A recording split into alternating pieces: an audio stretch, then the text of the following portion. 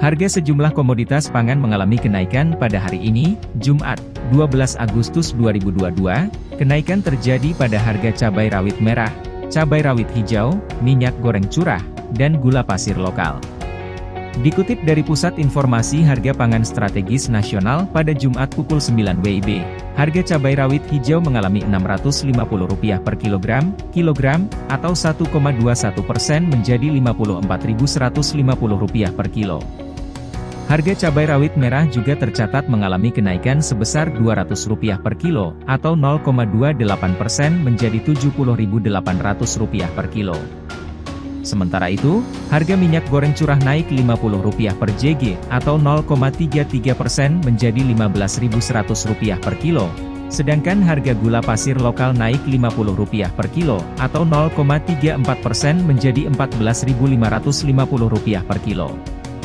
Di sisi lain, harga bawang merah ukuran sedang mengalami penurunan Rp450 per kilo, atau 0,98 persen menjadi Rp45.500 per kilo.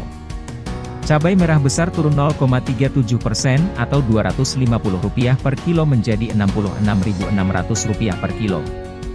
Adapun, harga cabai merah keriting turun 2,12 persen, atau Rp1.450 per kilo menjadi Rp66.900 per kilo. Sedangkan harga minyak goreng kemasan bermerek 1 turun 50 per atau 0,21 persen menjadi Rp23.400 per kilo. Penurunan juga terjadi untuk harga minyak goreng kemasan bermerek 2 sebesar Rp50 per kilo, atau 0,23 persen menjadi Rp21.800 per kilo.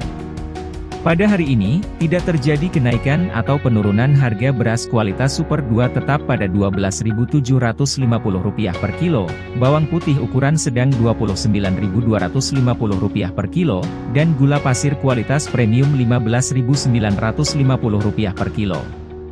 Sekian harga cabai untuk tanggal 13 Agustus 2022. Untuk mendapatkan harga cabai setiap hari, silahkan subscribe ke channel ini. Sampai jumpa di video berikutnya.